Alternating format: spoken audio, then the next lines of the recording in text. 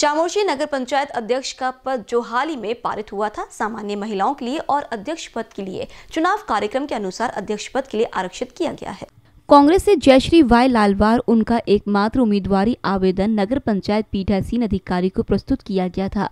नगर पंचायत में आज कांग्रेस की ओर से जयश्री वाई लालवार की अध्यक्ष पद की उम्मीदवारी, नगर पंचायत मुख्य अधिकारी एवं सहायक पीठासीन अधिकारी विशाल वाग को भर्ती कराया गया। तालुका कांग्रेस अध्यक्ष विनोद खोबे, कविश्वर इंचवार चंद्रकांत दोषी, राजेश ठाकुर, अशोक तिवारी, नितिन वायललवार, विजय शतलवार, राकंपा तालुका अध्यक्ष श्रीकांत ओलालवार, निकेश गाडेवार, अद अमोल तुरे, आशीष पीपरे, गुरुदास सतपुते, स्नेहा सतपुते, प्रेमा एंजवार पंकज वायलाल, कमलेश बरलावर, प्रशांत पलार पावर, रमेश यदलवार आदि उपस्थित थे।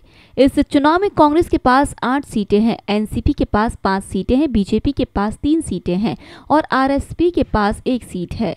इस चुनाव में कांग्रेस एक बड़ी पार्टी बन गई है। केवल एक आवेदन के साथ जयश्री वायलालवाल के अध्यक्ष के रूप में निर्विरोध चुनाव कांग्रेस का फैसला हो गया है।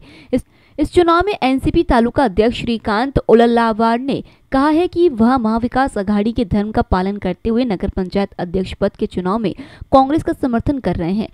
इससे कांग्रेस धड़े में उत्साह का माहौल है। इस समय नगर पंचायत अधिकारी, कर्मचारी और चामोशी पुलिस निरीक्षक बिपिन शेवाले के मार्गदर्शन में पुलिस के साथ major Dilip Khobragade high alert पर है। चामोशी से बीसीएन न्यूज़ के लिए बबन वड़े टिटवार की रिपोर्ट।